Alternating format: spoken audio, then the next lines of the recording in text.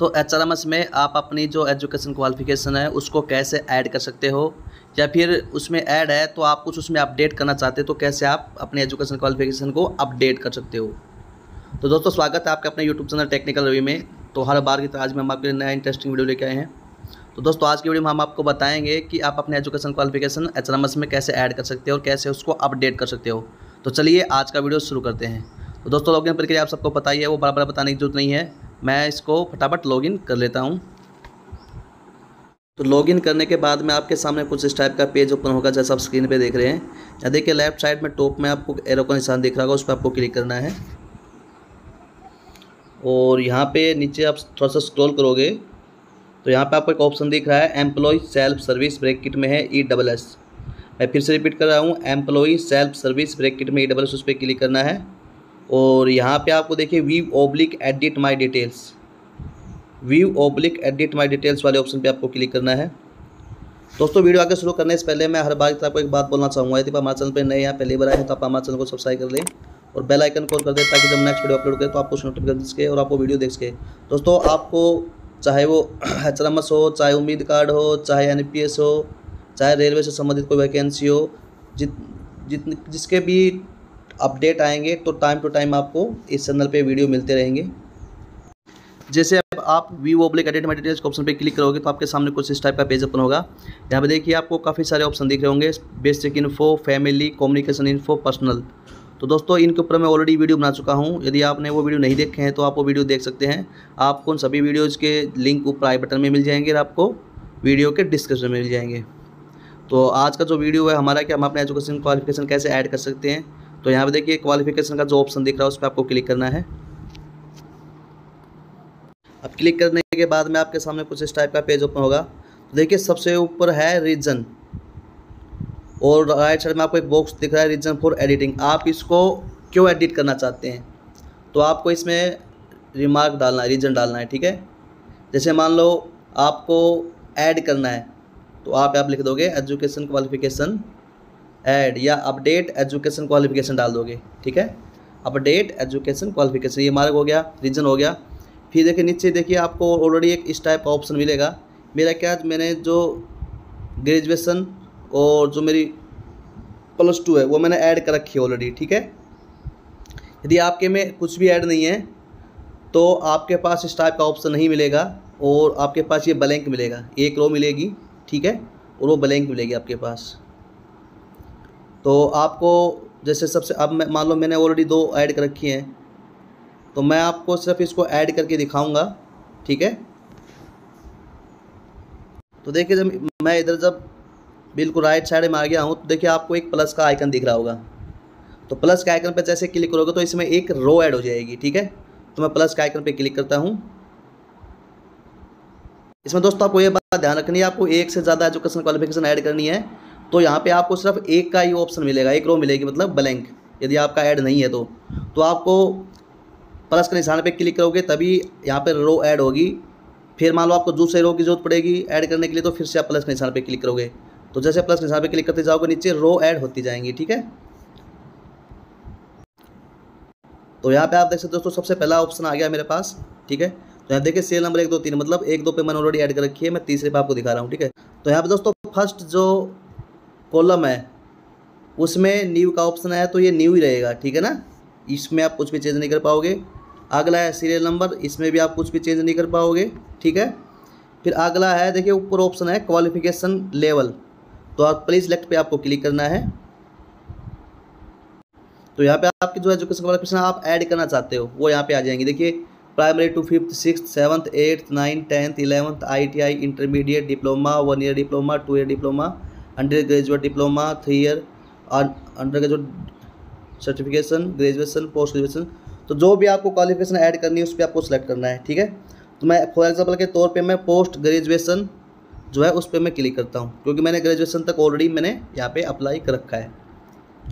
फिर अगला देखिए कोर्स तो यहाँ पे आपको प्ले सेलेक्ट पे क्लिक करना है। तो पोस्ट ग्रेजुएट में जो भी कोर्स है, वो सब यहाँ पे आ जाएँगे। यदि आप ग्रेजुएशन पे क्लिक करोगे तो ग्रेजुएशन के हिसाब से आएँगे, ठीक है? तो ये सब पोस्ट ग्रेजुएट के हिसाब से आ गए, ठीक है ना? तो यहाँ पे मैं ले लेता हूँ एम टेक ठीक है? दोस्तों, आपको फिर से बता रहा हूँ, मैं ग्रेजुएशन सेलेक्ट करोगे तो ग्रेजुएशन के हिसाब से इसमें कोर्स के नेम आएँगे, ठीक है ना? फिर है सब्जेक्ट स्पेसिफिकेशन तो यहाँ पे आपको सब्जेक्ट डालने, ठीक है? अब आपको पता है कि जैसे मान लो बी टेक है या एम टेक है, वो तो क्या बोलते हैं, जैसे उसमें ब्रांचेज होती हैं, जैसे computer science engineering electronics and communication और civil engineering mechanical engineering electrical engineering इस टाइप से होती हैं। तो यहाँ पे मैं वो ऐड कर दूँगा, जैसे मेरी कंप्यूटर साइंस इंजीनियरिंग है तो मैं तो कंप्यूटर साइंस यहाँ पे सब्जेक्ट में डाल दूँगा। यदि आपको मान लो, जैसे आपने किया हुआ है एमए किया है तो एम एक सब्जेक्ट से होती हैं। तो जैसे कुछ कोई पॉलिटिकल साइंस से होती है, कोई हिस्ट्री से होती है तो आप वो यहाँ पर मैंसन कर दोगे, ठीक है? तो मैं यहाँ पर कंप्यूटर साइंस इंजीनियरिंग यहाँ पर मैंसन कर देता हूँ।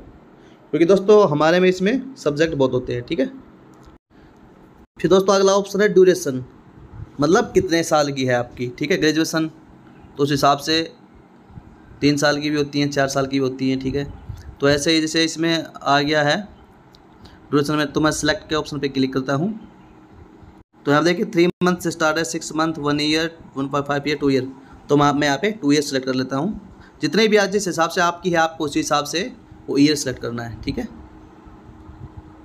फिर अगला ऑप्शन है कंट्री तो कंट्री यहाँ पे जहाँ से आपने किया है, अब कुछ फॉरेन से भी करते हैं, ठीक है? तो मैंने इंडिया से किया हुआ है तो ऑलरेडी यहाँ पे इंडिया बाय डिफ़ॉल्ट सेलेक्ट है। यदि आपने फॉरेन से किया हुआ है तो यहाँ पे आपको सेलेक्ट करना है, जहाँ इंडिया ऑलरेडी लिखा रहा है, यहीं पे आपको क्लिक करना है। तो यहाँ पे देखिए, जितनी भी कंट्री हैं, सब कंट्री का यहाँ पे नाम आ जाता है। तो जौन सी कंट्री से किया है, वो आपको सेलेक्ट कर लेना है। तो बाय डिफ़ॉल्ट इंडिया है, मैंने इंडिया से किया हुआ तो मैं इंडिया पे सिलेक्ट ऑलरेडी है वो तो मैं कोई भी इसको नहीं छेड़ू फिर अगला ऑप्शन है बोर्ड ओब्लिक यूनिवर्सिटी ठीक है तो आपने कौन सी यूनिवर्सिटी से किया है? तो पहले सेलेक्ट के ऑप्शन पे आपको क्लिक करना है। तो यहाँ पे जितने भी बोर्ड हैं और जितनी भी यूनिवर्सिटीज़ हैं, वो सब आपको यहाँ पे मिल जाएँगी। ठीक है?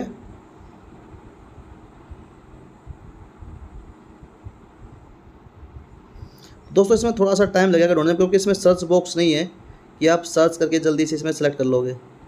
तो मैं फटाफट इसमें, मेरी जो यूनिवर्सिटी है वो देख लेता हूँ मैं इसमें। आपको, आपकी जो भी यूनिवर्सिटी हो यहाँ पे आए, आपको सर्च करनी है। अल्फ़ाबेटिक ऑर्डर से हैं।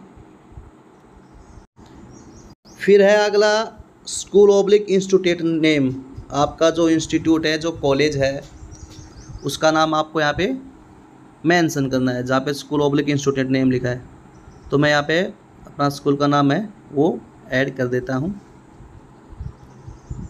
तो मैंने यहाँ पे अपना कॉलेज नेम वो डाल लिया, फिर है पासिंग ईयर आप कब पास आउट हुए? कौन सी ईयर में हुए? वो आपको ईयर यहाँ पे मेंशन करनी है। तो दोस्तों, आपको एक बात ये ध्यान रखनी है, जैसे कई बार क्या होता है कि जैसे हम हमारी बात करें तो बी टेक वगैरह में री बहुत आती है। मतलब कोई एक दो सब्जेक्ट में फेल हो जाता है तो उसको री बोलते हैं हमारे, ठीक है ना? तो उसके बाद में फिर टाइम लग जाता है।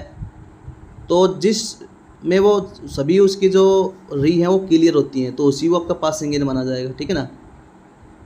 जैसे मान लो 2014 में, ना सॉरी 2022 में उसकी जो है चार साल कंप्लीट हो रही है।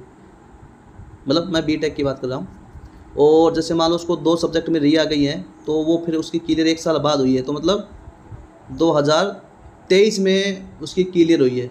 तो जो उसकी पासिंग ईयर है, वो यहाँ पे 2023 आएगी।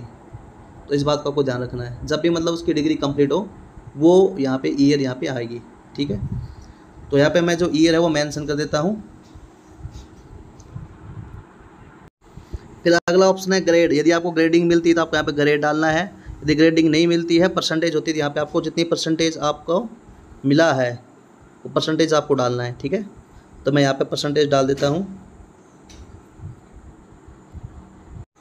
तो यहाँ पे दोस्तों आपको के बात ध्यान रखनी है, जैसे परसेंटेज में यदि आप मान लो आपको सिक्सटी सिक्स परसेंट आए तो आप सिक्सटी सिक्स डालोगे तो इनकरेक्ट फॉर्मेट दिखाएगा।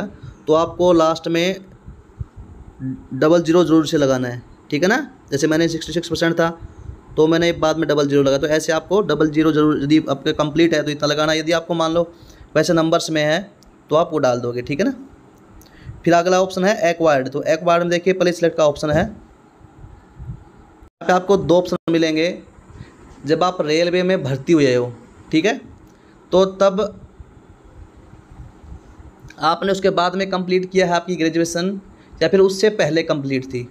तो देखिए इसमें बिफोर ज्वाइनिंग मतलब जब आपने रेलवे को ज्वाइन किया है, उससे पहले किया हुआ है आपने तो बिफोर ज्वाइनिंग आपको सेलेक्ट करना है। और यदि आपने ड्यूरिंग सर्विस के दौरान मतलब ज्वाइनिंग करने के बाद में आपने किया है तो आपको ड्यूरिंग सर्विस डालना है, ठीक है? तो मैंने किया है बिफोर ज्वाइनिंग तो मैं बिफोर ज्वाइनिंग पे क्लिक करता हूँ।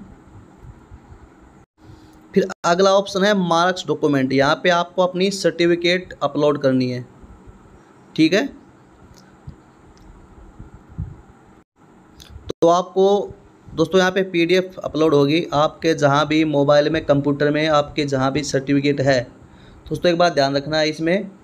इसमें आपको सभी सेमेस्टर की लगानी है। ठीक है ना? One by first sem, second sem, third sem, fourth sem, five sem, जितने भी सेम है आपके, वो, और जो आपकी फाइनल डिग्री है वो, सभी की आप एक पीडीएफ बनाओगे और यहाँ पे आप उसको अपलोड करोगे चूज़ फ़ाइल तो जैसे आप चूज़ पे फ़ाइल पे क्लिक करोगे तो जहाँ भी आपके मोबाइल में कंप्यूटर में आपकी जो पीडीएफ है, वो आपको सिलेक्ट करना है और फिर आपको अपलोड पे क्लिक करना है. जैसे आप अपलोड पे क्लिक करोगे तो नीचे सौ परसेंट सक्सेसफुल्ली दिखाएगा और जैसे कंप्लीट हो जाएगी तो फिर आपको व्यू का ऑप्शन दिखेगा और आगे एक पी का साइन दिखेगा. व्यू पे क्लिक करके आप देख पाओगे कि आपने जो फ़ाइल यहाँ पे अपलोड किया है, वो सही है कि नहीं है, ठीक है? यदि गलत होगा तो उसी के व्यू के राइट साइड में एक क्रॉस का निशान मिलेगा, उस पर आप क्रॉस पे क्लिक करके आप उस फ़ाइल को वहाँ से हटा सकते हो और फिर से आप उस फ़ाइल पे क्लिक करके आप नई फ़ाइल यहाँ पे अपलोड कर सकते हो। और फिर सबसे लास्ट में है स्पोर्ट प्रूफ डॉक्यूमेंट तो यहाँ पे आपको एक स्पोर्टिंग डॉक्यूमेंट लगाना पड़ेगा। चाहे तो आप एक अप्लीकेशन लिख सकते हो, आपके ब्रांच ऑफिसर के नाम, भाई ऐसे ऐसे मैं अपनी एजुकेशन क्वालिफिकेशन ऐड करना चाहता हूँ, ठीक है? तो उसी के रिगार्डिंग आप एक सिंपल से अप्लीकेशन लिख के भी यहाँ पे अपलोड कर सकते हो, ठीक है? या फिर मान लो आप यही जो डॉक्यूमेंट है, यही डॉक्यूमेंट आप इधर जो अपने मार्क डॉक्यूमेंट लगाए हैं, यही डॉक्यूमेंट आप यहाँ चूज़ फ़ाइल पे क्लिक करके और स्पोर्टी डॉक्यूमेंट में भी आपको लगाना है, क्योंकि दोस्तों मैंडेटरी होता है तो यहाँ पे लगाना ज़रूरी है। तो चूज़ फ़ाइल पे क्लिक करोगे, आपके कंप्यूटर में मोबाइल में जहाँ भी आपकी फ़ाइल है, उसको सेलेक्ट करोगे और अपलोड पे क्लिक कर दोगे। जैसे अपलोड पे क्लिक करोगे, नीचे सौ परसेंट सक्सेसफुली दिखाएगा और वहाँ पे एक आपको पीडीएफ का सिंबल और व्यू का ऑप्शन दिखेगा। तो आप चेक कर सकते हैं कि आपने जो पीडीएफ जो आप लगाना चाह रहे हो, वहीं अटैच हुई है दूसरी तो नहीं हो गई, ठीक है? स्पोर्टिंग डॉक्यूमेंट अपलोड करने के बाद में आपको नीचे आना है और यहाँ पे आप पढ़ भी सकते हो पी का मतलब क्या है ड्यूरेशन में क्या डालना है एक्वायर्ड में क्या डालना है मार्क डॉक्यूमेंट में क्या डालना है। और फिर नीचे आपको यहाँ पे डिक्लेरेशन दिखाई दी होगी।